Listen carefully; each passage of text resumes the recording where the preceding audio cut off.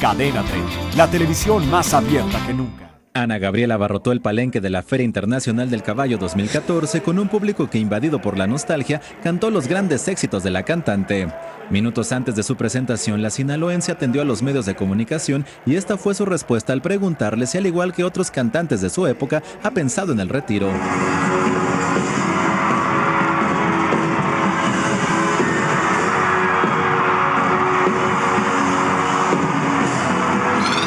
Siempre ronda la, idea eh, en la cabeza de, todos los cantantes, creo yo, ¿no? No me imagino que los que, los que van empezando, pero, pero los que ya llevamos muchos años, es obvio que, que pase por la cabeza, porque los años no pasan en balde, los años van, van diciéndole eh, dónde puedes hacer el stop.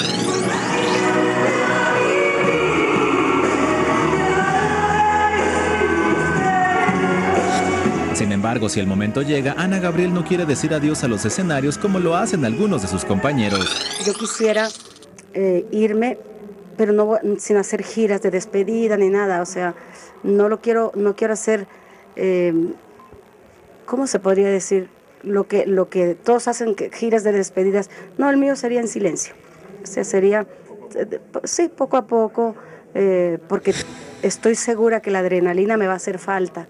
Entonces, si digo, voy a hacer la gira de, despedida y a los cinco años voy a sentir las ganas de regresar, prefiero hacerlo en silencio y, e, e ir programando y reduciendo esas giras maratónicas que hago.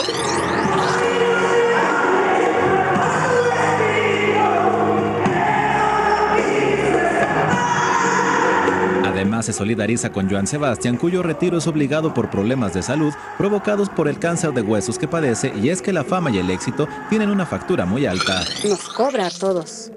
Justamente está mi médico aquí, porque después de que yo llego de esa gira por Sudamérica y por Centroamérica, la altura me pegó muy fuerte y, tuve que llamarle para que me ayudara a estabilizar pues eh, corporalmente también, ¿no? Eh, lo, ponerme un poco de oxígeno, eh, porque son los años. Entonces, yo misma venía en, la camioneta riéndome con él, le digo, ay, es que esto no me pasaba antes, sí, pero antes no tenía los 58 años, ¿verdad? O sea, nos cobra la factura y nos las cobra bastante cara. Desconozco lo de Joan Sebastián, tengo su número, me voy a comunicar con él. Con información de la corresponsal Ángeles Velasco.